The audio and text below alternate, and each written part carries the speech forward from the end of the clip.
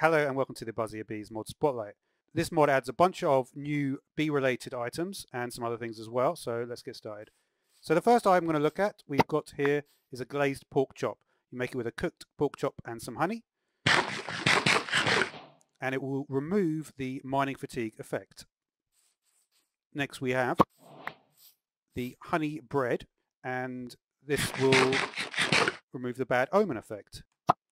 And finally we have the honey apple and this is going to remove the levitation effect. So one of the things you'll probably notice most about this mod is there's a bunch of different types of candle here. So you make the regular candle simply with some string and some honeycomb and then you can dye it to whatever colour you want with some dye. And we also have these scented candles which will require a popped chorus fruit. So you can see when we place them down, we place them down similarly to sea pickles, two different states, so also be unlit as well. Now there's also these which are the scented candles. I've placed down a cornflower scented candle and the effect of these will be exactly the same as if as what would happen if you put it into a suspicious stew. But you'll also notice in the Whaler tooltip there it says enchant power 1 and it's 0.25 for each candle so it's going to be 1 enchant power for each block of candles that you put there. And if we do that you can see this is already going to a higher level than it would normally. So the enchantment boost is going to work even if the candles are unlit. Okay, we also have a couple of things that you can do with bottles. So we can actually capture bees. So when we take a look at the tooltip, it's going to say bottle of bee. And what we can also do, for instance, hit the bee, make the bee angry. Now when we capture it, you can see on the left-hand side the bee's eyes are red. Now that we've been stung, it's going to say stingerless. You can also capture the endermite as well.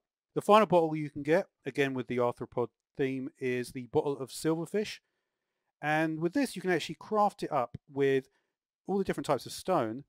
And we'll just take a look at, say, the infested cobblestone. That just gives you a slightly different looking uh, block. And interestingly, the tooltip will not tell you that. Buzzier Bees also adds a range of different types of beehive.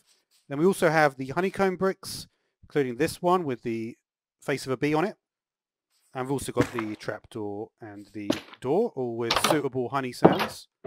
So this block is kind of interesting, the crystallized honey block. So once we jump on the honey block, it's actually going to break. Also take a bow and arrow out. Also going to break it. There's also a couple of flowers as well that are added. So we have these different types of clover. And speaking of clover, if you go into the jungle or desert pyramids, you can find the four-leaf clover, and that is used to make luck potions. So you can see we can put some of our clovers in the composter. You can also bone meal the clovers to get additional ones. You can also put the clover, the clovers into flower pots, and this was the buttercup, which we'll look at in a minute. And here we have the apiarist house, and here is the apiarist arriving on time. So let's see what the apiarist ah. can give us. You can see they're going to give us candles, which you've already seen. And it will actually do trades from atmospheric, so that's a desert flower, the yucca flower. You can see you can also get the four-leaf clover. Now there is one other thing that I was hoping for in the trade. But we take a look at the chest here. It's actually in there, and that is the honey wand. So the honey wand can remove and insert honey from beehives and bee nests without angering the bees. So let's ah. take a look. We've got no honey in our inventory at the moment. Now we do. So we can attack an enemy with the sticky honey wand, and that's actually going to slow the enemy down. You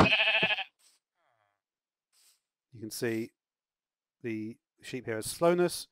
And finally, you can actually eat the uh, sticky honey wand This item here is the honey pot, which uses honeycombs and is the workplace block for the apiarist villager.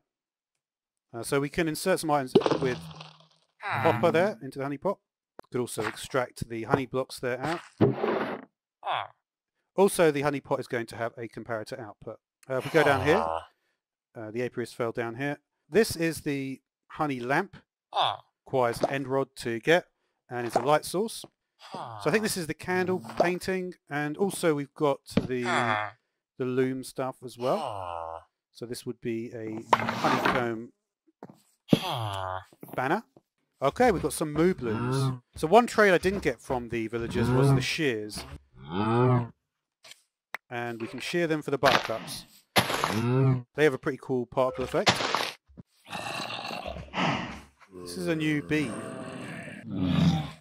Grizzly bear's larger, right? Anyway, that's going to do for this spotlight, so thanks for watching.